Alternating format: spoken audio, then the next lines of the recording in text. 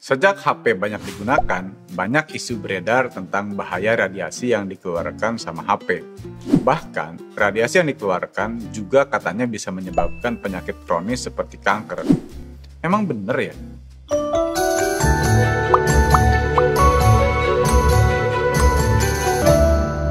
Simpelnya, hingga saat ini belum ada penelitian yang benar-benar membuktikan kalau penggunaan HP bisa menyebabkan kanker Malahan, kata ilmuwan nih, jumlah pasien kanker tidak naik secara signifikan beberapa tahun terakhir.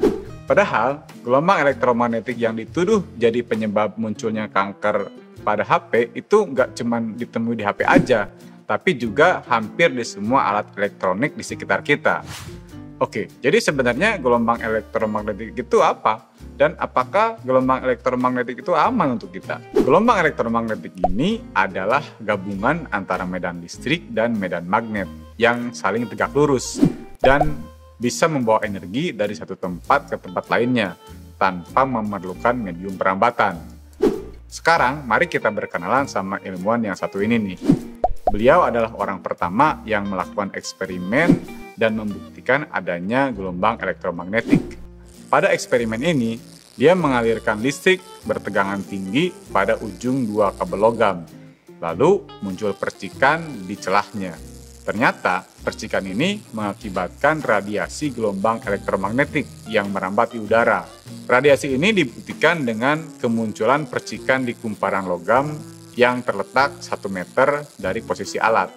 Tapi walaupun beliau adalah orang pertama yang membuktikan keberadaan gelombang elektromagnetik, sebenarnya ada ilmuwan lain yang sudah memprediksi kemunculan gelombang elektromagnetik itu. Dia adalah James Clerk Maxwell.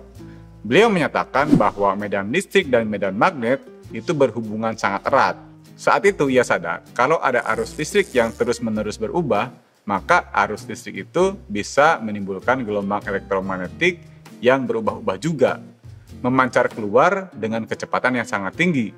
Perhitungannya juga menunjukkan bahwa gelombang elektromagnetik itu memancar pada kecepatan cahaya.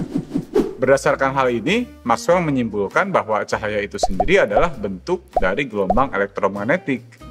Menurut Maxwell juga, cepat rambat gelombang elektromagnetik tergantung pada permeabilitas vakum dan permitivitas vakum permeabilitas itu adalah sifat kemagnetan dan permitivitas itu adalah sifat kelistrikan. Sehingga dari persamaan Maxwell dapat diturunkan seperti ini nih. Persamaan inilah yang kemudian disebut dengan kecepatan gelombang elektromagnetik. Oke, gelombang elektromagnetik ini ternyata bisa dibagi jadi berbagai macam gelombang yang masing-masing punya ciri yang berbeda. Agar kita lebih mudah memahaminya, dibuatlah spektrum gelombang elektromagnetik yang membagi gelombang berdasarkan karakteristiknya. Nah, bentuknya seperti ini nih. Jadi, spektrum ini membagi gelombang elektromagnetik jadi tujuh bagian berdasarkan panjang gelombang serta frekuensinya.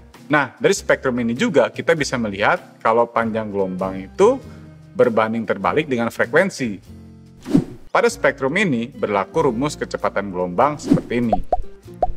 Nah, karena periode berbanding terbalik dengan frekuensi, artinya rumus tadi bisa diubah menjadi begini nih. Untuk mencari kecepatan gelombangnya dengan menggunakan nilai frekuensi. Oke, di awal tadi sudah dijelaskan kalau gelombang elektromagnetik ini bisa membawa energi dari satu titik ke titik lain. Energi yang dimaksud ini bisa berbentuk medan listrik maupun medan magnet. Nah, persamaan dari medan listrik dan medan magnet keduanya bisa ditulis kayak gini nih. Kalau persamaan pertama itu untuk medan listrik, persamaan kedua itu untuk medan magnetnya ya. Sekarang kita kembali ke pertanyaan awal. Apakah semua gelombang elektromagnetik itu aman?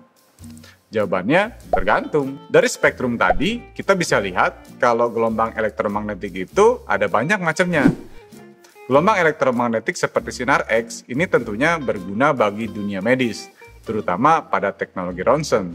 Tapi terpapar radiasi sinar X secara berlebihan tentu bisa bahaya juga. Hal ini karena tiap jenis gelombang memiliki energi radiasi yang berbeda-beda. Semakin tinggi frekuensinya, semakin tinggi energi radiasinya. Dan semakin tinggi energi radiasinya, maka semakin berbahaya. Itulah kenapa kategori sinar UV sinar X, dan gamma termasuk gelombang yang berbahaya. Walaupun gelombang-gelombang tersebut sangat banyak gunanya bagi kehidupan manusia. Sedangkan gelombang-gelombang radio seperti HP, WiFi, dan tentunya radio, radiasi yang dipancarkannya tidak seberbahaya itu sampai yang menyebabkan kanker. Tapi bukan berarti gelombang radio 100% aman ya. Ada penelitian terbaru yang mengungkapkan penggunaan HP yang berlebihan untuk menelpon itu bisa mempengaruhi kemampuan memori seseorang. Ya, meskipun tidak begitu parah, tentunya akan lebih baik kalau kalian bisa menghindari itu dengan menggunakan fitur loudspeaker agar HP tidak langsung menempel pada kepala kalian ya. Nah itulah dia materi gelombang elektromagnetik. Terjawab sudah pertanyaan-pertanyaan kita di awal tadi. Intinya kita nggak perlu takut yang berlebihan dengan radiasi gelombang elektromagnetik. Selama penggunaannya pada porsi yang aman, kita pun bakal tetap aman. Oke, sekian dulu video kali ini. Semoga video ini bermanfaat. Terima kasih. Sampai ketemu lagi di video berikutnya. Assalamualaikum warahmatullahi wabarakatuh.